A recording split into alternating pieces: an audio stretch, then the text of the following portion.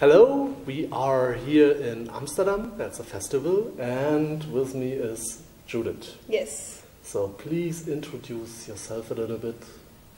Well, uh, I'm Judith. Uh, I, I work for the festival. Um, I'm the PR and communication manager, so to say, but uh, it's all volunteer job, so I have a regular job. And rest of the year after work, I'm busy organizing this festival uh, and making all the yeah PR stuff go around all year. Cool. So it's uh, how much festivals do you uh, develop? Well, this is my second. Well, it is the twentieth festival this year. It's only Yeah. my second i- uh, in this job. But the two festivals before, I was uh, just more volunteering uh, all around, uh, organizing workshops, uh, cooking, or uh, I did, did stuff in the theater. I was all around, and then they asked me, "Would you like to do the the PR and be in the in the group of four that really organize it all year round?" And then I said, "Yeah, of course," because I really love it. So it was a yeah, it's a great job to do. And a lot of work, I think. Yes, so it's it's a really a huge festival. Yeah, yeah.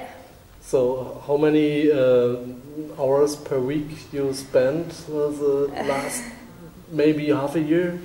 Well, actually, we uh, we start the, the festival's always last week of January, but for us, the new festival. So with the four of us, the really main organizers, we start in February, March already with the next year.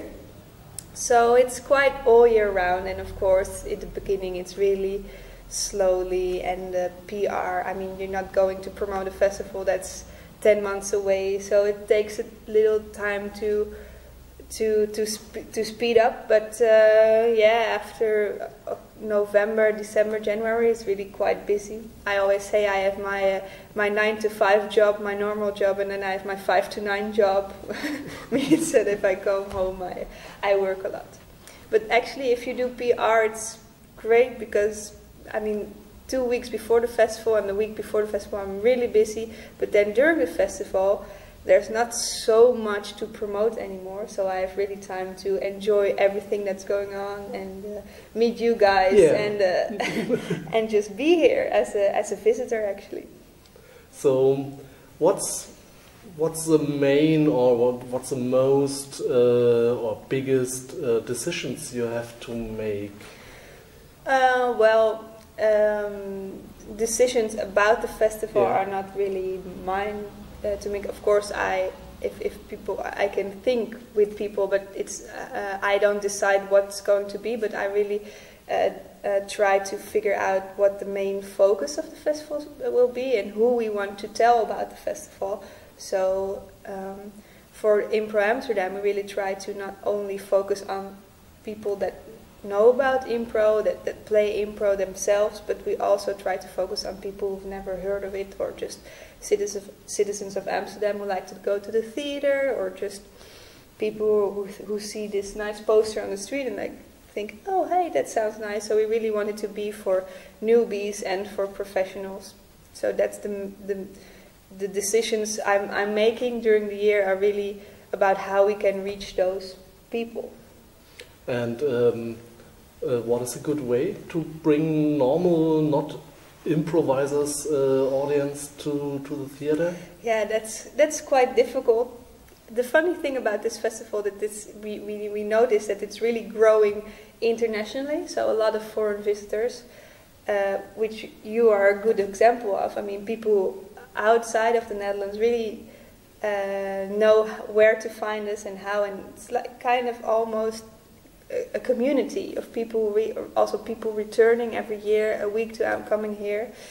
But there's a, a group of um, yeah, maybe it's it's difficult to promote the festival within Amsterdam and within the Netherlands because there's so much going on and uh, improv is getting more and more.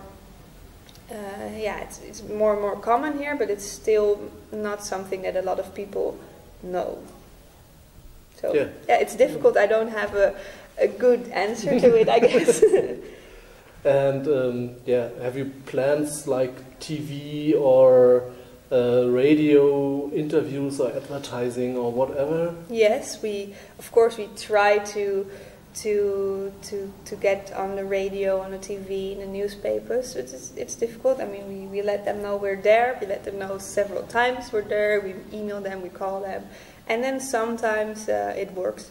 Last year we were on the local uh, TV channel with a really nice item. We've been in a national newspaper. This year we were in a newspaper and we had a nice uh, review of a of a big um, theater website this year. So we're kind of every year we have new people who found out find out about us, and we really hope that's go will be bigger, bigger, bigger Yeah. every year. I really like uh, the trailer. hmm So the trailer is really Yeah, yeah smooth, and uh, you watched it every day on, on, on, on the stage before a show begins. Yeah. And like, it's not boring. It's really No. it's cool. So oh, thank you. I'll tell that to the guy who made it. Yeah, we're really lucky with uh, with our volunteers, and we have some really golden volunteers who, who can make that kind of stuff. And you just, I mean, you don't even have to ask them. They just say, "Hey, I'll, I'll make the trailer this year. Can you give me a, a few pics?" And then. Uh, suddenly you get an email and you have this and they're like wow this is so cool so uh, yeah that's all it, we really depend on those kind of volunteers who can do stuff and who want to do it for improv. yeah, I see also um, some kind of animated uh, um, photos Yeah. every day, and it's really from the day before. So Yeah. it's really they, Yeah. they That's also the night. really cool. Yeah, that's also uh, somebody from the Impro network, uh, Nike. She she's a really nice, uh, yeah, drawer, illustrator, and uh, she she just visits the show every day. And the next morning, uh, she she she she sends me a picture, and uh, yeah, I really love it. We started that last year, and it's I really. I mean, she sees the, the the shows in such a nice way, and her brains work so brilliantly. I really love her her drawings. So yeah, I'm glad to public can, that we can publish that on uh, on Facebook, and uh, yeah, that kind of people make me really happy. Yeah, me too. I really love that kind of drawing. It's, it's yeah, it's uh, interesting that uh, she took really one moment of the whole evening, and it's, it's Mm. great. Yeah. So Oh, thank you. I'll tell that to her too. yeah, we have some wonderful people uh, around here. Yeah. So and uh, planning for next year is not now, but you, do you think about it or later? Of course. Well, um, uh, I'm not really thinking about next year yet because I, I I'm here now and it's great. But um, yeah, this year since it's our 20th anniversary, we tried a lot of new stuff. We had an extra day uh, here in the theater. We had some extra uh, late night shows going on, some extra workshops, and from now I'm I have the idea that it's really working out, but we still have to wait on the numbers and figures at the end of the week and if everything comes together. But for next year I'm really interested in what, what, what worked and what didn't and how we can how we can use the good things for um, further festivals. So what uh, what was new? It's more shows. It, so that you have Um, two shows at night. Or Yes, yes. Normally we only had one uh, one late night show, and now we have two. Uh, so people can choose because we saw that uh, uh, more people wanted to see these shows that there were than we had seats. So we made two at the same time.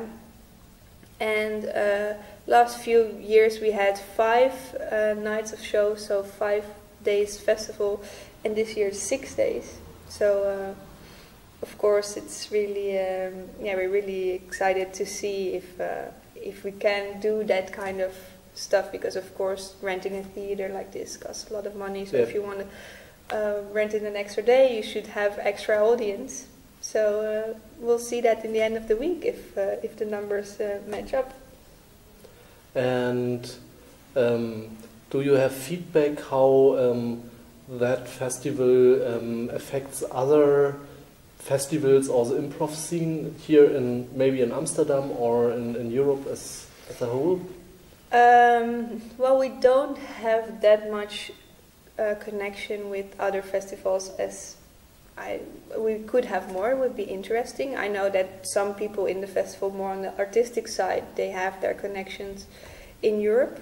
So in that way, we're not really working together. But it would be great to do that more maybe in the future. And as far as the Netherlands are concerned, we don't. I think Impro Amsterdam is the the only uh, really big improv festival, uh, especially international. So uh, yeah, we hope to inspire other people. But as I already said, sometimes we have the idea that it's more growing internationally than within the Netherlands. So that's also a thing I'd like to focus on more next year. Yeah, it's interesting. In Berlin, it's in a way the same. So you have that really big international festival, Mm-hmm. and not so much groups from Berlin or improvisers Mhm. from Berlin taking part, but from all over Germany and from around the world. A lot of people Yeah. come to that. So Okay, yeah, that's- um, maybe that's a, a strange mechanics. I don't know. Yeah, maybe it is. Maybe it is. Maybe people who love improv more pre- pre- uh, prepared to travel, or I don't know. It's a community thing, or if you know somebody that goes, you oh yeah, sure, I want to meet there. I don't know how it works. It's interesting and it's fun.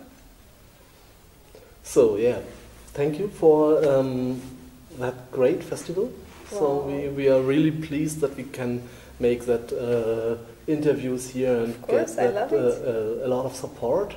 So do you have something to what, what you want to say or do you Um, need something from the people?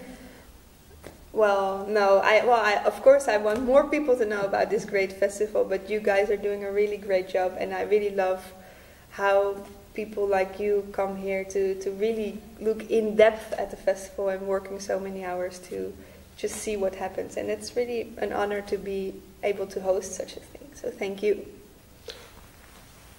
You're welcome. so, okay, then I think that's a great ending. So thanks. Thank you. Yeah. Have fun.